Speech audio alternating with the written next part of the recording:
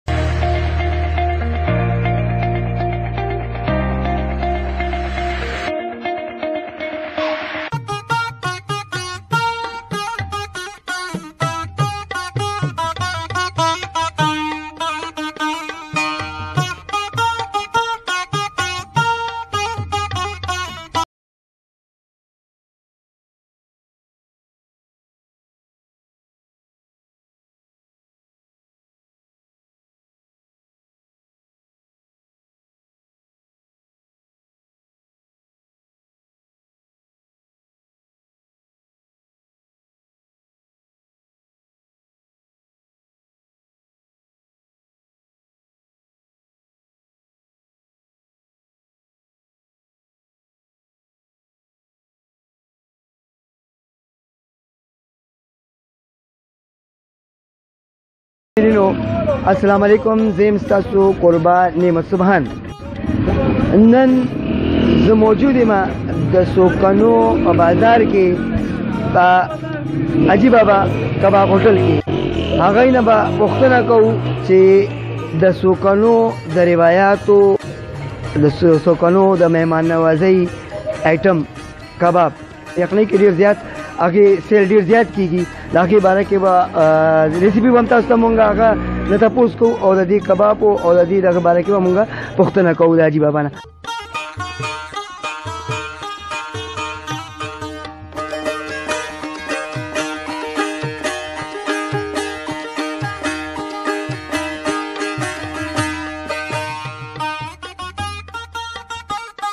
اجي السلام علیکم جی وعلیکم السلام اجي صاحب دا راته وایي چې زمونږه زور چې لګرستو لا چو نو د سوکنو کباب خړول له پټانګو کې خلک دلیل له زینو راتل آیا اوس هغه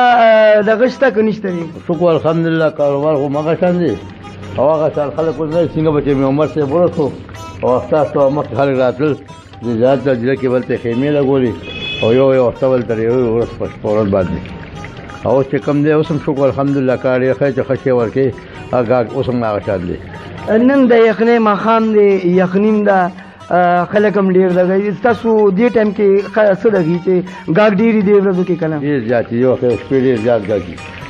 تاسو دا په سوکنو کې دا ریسیپي د کباب چې دا ډیره زیاته مشهوره ده چرته چې ملمانه راشي کباب وروړي که څوک کو د چا خپل د غوشي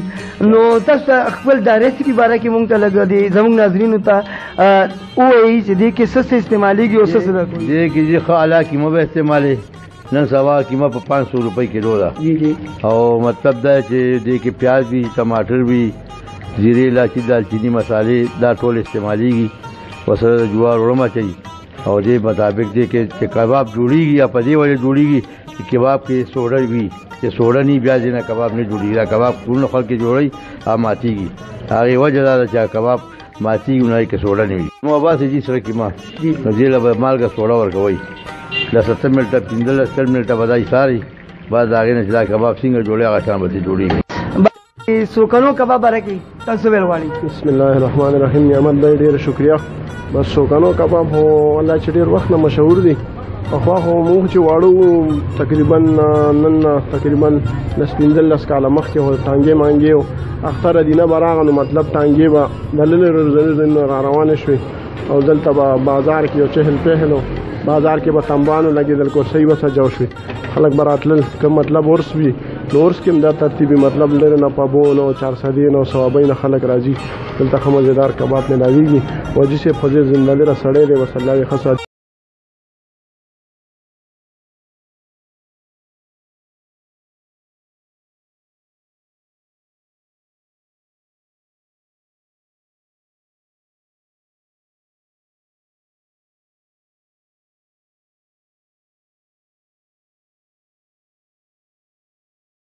یقیني